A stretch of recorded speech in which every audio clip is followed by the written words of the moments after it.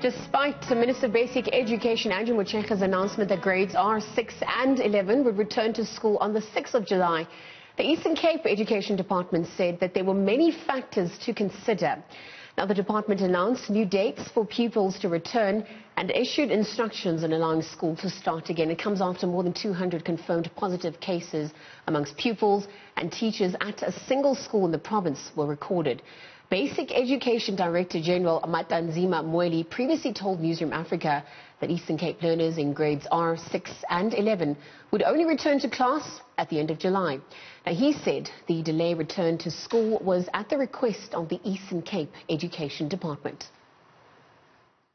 There's no backtracking. I mean, all MECs were interviewed uh, at a media briefing yesterday. And that's what the MEC of the Eastern Cape announced. And uh, that was not the first time. They've written a letter to the minister. The premier has communicated with the minister. Um, the matter was discussed at the Council of Education Ministers on the 2nd of uh, July. And uh, that intention of the, of the Eastern Cape and provinces on how they are going to be phasing in grades was extensively discussed and was agreed upon and that's part of the flexibility of the plan predicated on the risk-adjusted differentiated approach in phasing in grades. So do we know when those pupils, the grade R6 and 11 pupils, will be allowed to get back to class specifically in the Eastern Cape? Yes, we do. Uh, the deadline is that by the end of July, they should be back to school.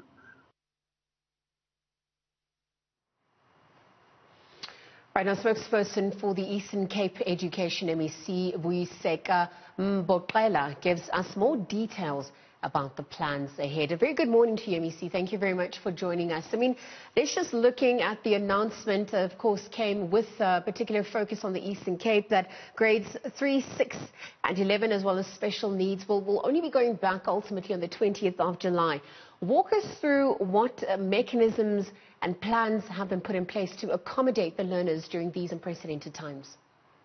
Uh, morning to you and, uh, and News Africa and also the viewers. Um, firstly, I, mu- I, must make this indication that indeed, as you have uh, made an indication that the national DG has made that indication that Eastern Cape would return to classes the second cohort on the 20th of June. Um, it's a it's a decision that was taken not just by the sector of education in the province, but by provincial government after considering many factors in terms of opening schools. Because you understand that currently the entire globe is faced with the pandemic, and uh, each and every discussion and the decision that gets to be taken one, uh, by one sector, uh, it needs to be looked at how is it going to affect the other. Uh, in the context of our own situation as a province, is that uh, we've we've been in the past uh, few weeks experiencing high rate of infection in the province, uh, which uh, it also claimed the 15 uh, lives of our own teachers and, and, and three learners in the province. Now, the decision to then put a hold in the in the second cohort was based on the fact that when you look at the pace of that virus, it therefore means that you needed to, to, to be a bit tactical because it has also been uh, made as an indication uh, also in the public that there is a bit of a workload that is taking place in the side of the Department of Health. And then therefore the decision to then return the second grade at this point in time, which is a bit windy, which is bit cold, which is bit raining, it will be a, a bit of a non-calculated decision. Hence therefore the MEC had to take that decision, which was well canvassed in structures of the province and also in the in the in the PDCO of the province to say uh, there must be a request that is submitted to the minister to consider the conditions of the Eastern Cape and to consider the issues that have been raised. But mainly, it's not on the fact that perhaps the department wouldn't be able to deliver curriculum and PPEs, because uh, I can confirm but that by the time time our own learners come back to the classes on the 20th of July as expected,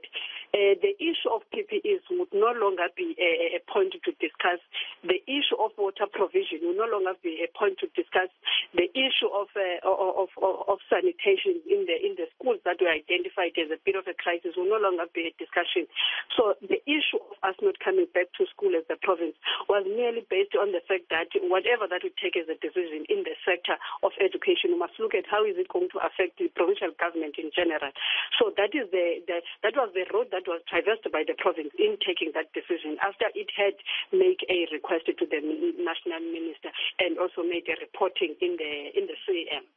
You can hear me. I just want to also touch on the various scenarios that, of course, uh, you know, is highlighted within the Eastern Cape. You mentioned that these mechanisms have been put in place to ensure that um, we, we, we, mitigate against some of the challenges that the, the province is facing during these unprecedented times.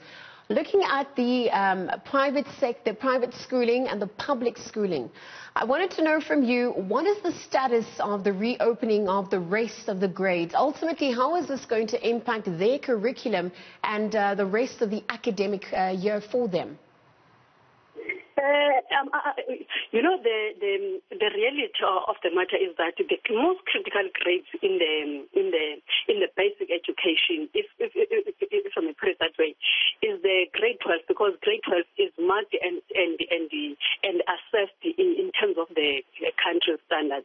and also uh, um, grade 12 is an exit grade between uh, basic education and the higher education. But in terms of all other grades, it's some it's a, it's an assessment that is internal, which therefore means that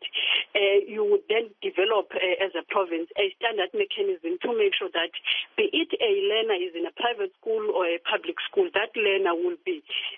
uh, assessed in the same standards because the only custodian of the of the of, the education and the and, and, and, the examination process is the department. So uh, such things are, are, are, are, being discussed in the in the in the department. But I can also tell you that you know uh, if you look at the Eastern Cape, uh, its own teachers are of a special kind because uh, even though that they they will have three uh, to, to, to, to, four weeks that they would have lost in terms of grade uh, 11, grade uh, 6, and all other grades. Teachers of the Eastern Cape are capable of delivering the left curriculum in the left hours uh, meaning they left a, a month.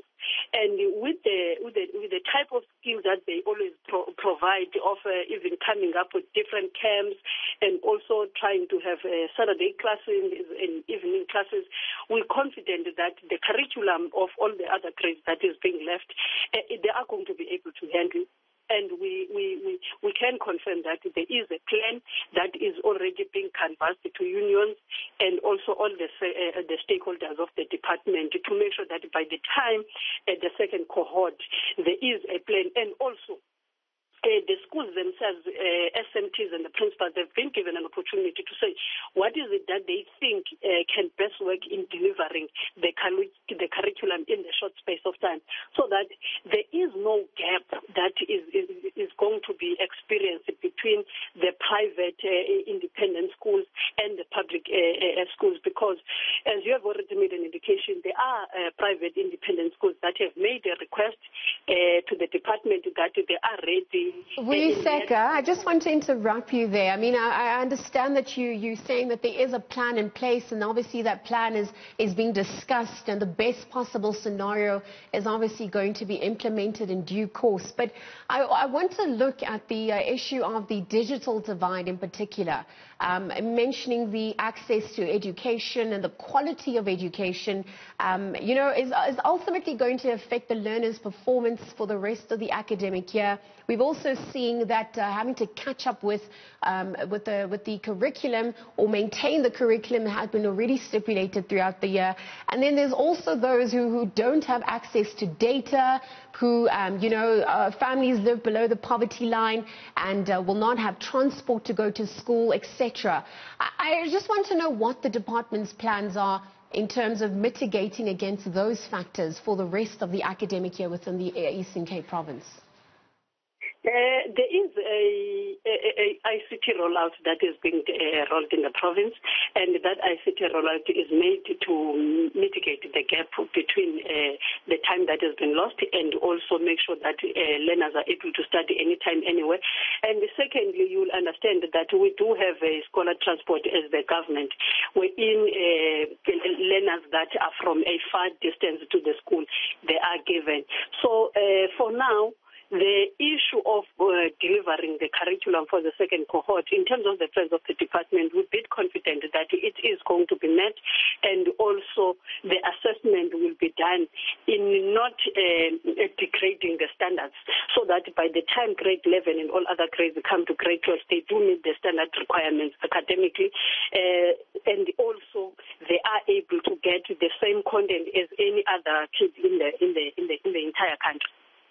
All right, uh, Vuyiseka, let's just also look at the issue of the social and relief grants that have been issued. I mean, many have come up to say that it's not enough uh, to support the, the families, um, but obviously this is just to help cushion the blow. Um, the students who received meals and also, um, you know, support in that, in that regard, oftentimes going to school was the only means of them um, getting a full meal for the day. Um, during the winter season and also during the COVID 19 pandemic as these grades are phased in. Ultimately, what is the department's plans with uh, addressing that issue? Um, obviously, we do understand that nutrition has a vital impact on, on one's learning capabilities. Uh, in the in the uh, towards the end of the month uh, of June, uh, the superintendent of the department issued an instruction note to all schools that uh, they must begin uh, the, the process of feeding learners of other grades that have not yet come back, because that was a decision of national department, national basic department of national education. And the essence of that was not to just uh, have kids coming to school and, and, and, get and get food, and in the process of that expose them to the to the pandemic, but was to say uh, schools have a right and uh, they have an authority that they must put measures, convince the department that whilst we will be issuing food to learners, they are of no risk in terms of their own preparation. So uh, in the province, they are schools that have, in fact, all our schools have been given that uh, authority that they must feed, and also even made a suggestion that if there is a learner that is close by a particular school but is studying in a school that is bit far, that means a transport that school, that kid can be uh, fed in the school that is in a walking distance to him or her, so that you don't really have a kid that is unable to get a, a, a feeding on the basis that there is a need of a transport before that kid can get food. So uh, schools in the province, they've been given that instruction. All right, Vuyiseka Mboxela, we're going to leave the conversation there. Of course, the spokesperson for the MEC for Education within the Eastern Cape province, just telling us about the department's decision to delay the phasing in of some of the other schooling grades whilst the province works at reducing the infections in the province at large.